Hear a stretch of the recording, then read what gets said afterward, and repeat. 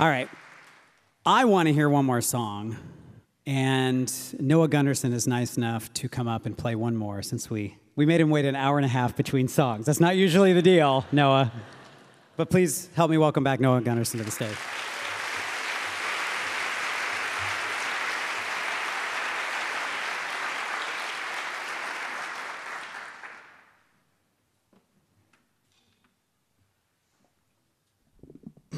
Well, you know you've established yourself in a certain songwriter niche when you get asked to bookend the death show. I was talking with Rocky um, earlier tonight about another project I've been involved with, which is a like a more of a rock band, and I was saying how fun it was. And then I stopped and, and thought how music is always supposed to be fun in, in most people's minds. And then, uh, but what Rocky and I signed up for is the introspective brutality of singer songwriterism.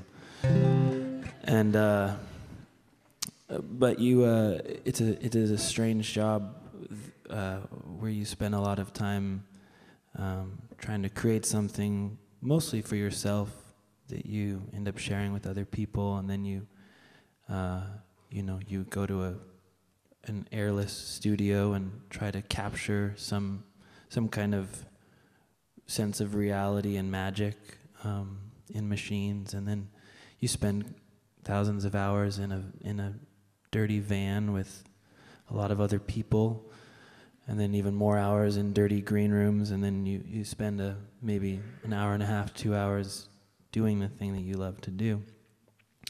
And I'm grateful, um, but it's easy to take for granted uh, the impact that it can have. And nights like this, um, the atmosphere and the and the and the thing that, that John curates and K, KEXP curates um, is an important reminder for, for me as a songwriter that um, that what we do matters in some way. And so uh, I guess I'd like to thank all of you and KEXP and John for uh, reminding me uh, that what I do matters. So it, it means a lot. Um,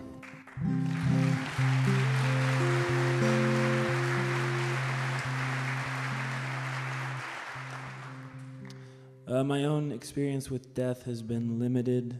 Um, I'm fortunate enough to say uh, my grandfather passed away several years ago, which was a trying experience, but it was his time. Um, there was a time when I ate a lot of edibles and thought I was going to die. Um, but,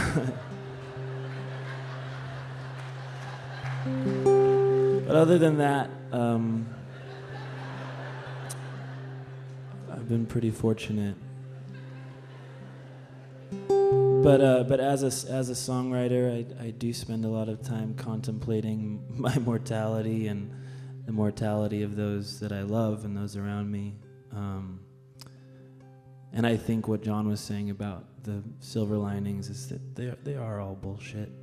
Um, but all you know, all we can do is is uh, try to value those around us while while we have them and so that's what that's what this song is. I'm gonna leave you guys with this. Thanks for thanks for being here.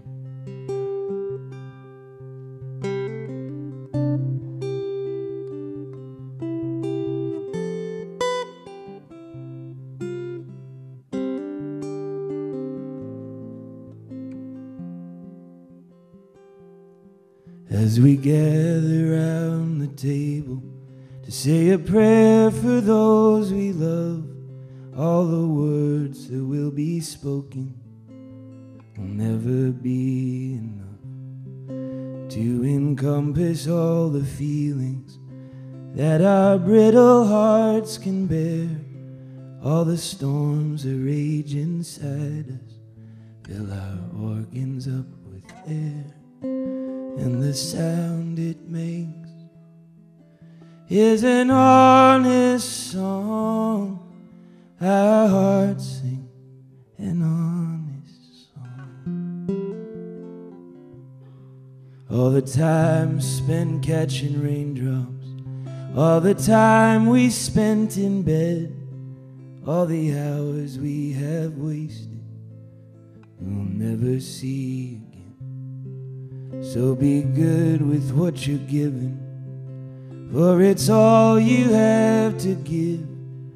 We are only passing shadows in a mighty wind, and the sound it makes is an honest song.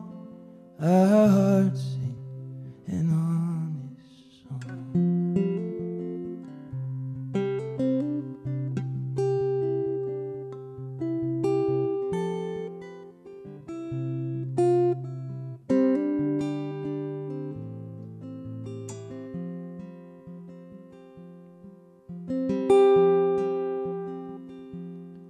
So though I tremble in the darkness, in the cold and frozen snow, I am grateful for the winter, for the winter comes to show that our trouble's never over and our work is never done. With the turning of the season, we will always see the sun and the sound it makes is an honest song. Our hearts sing an honest song. Oh,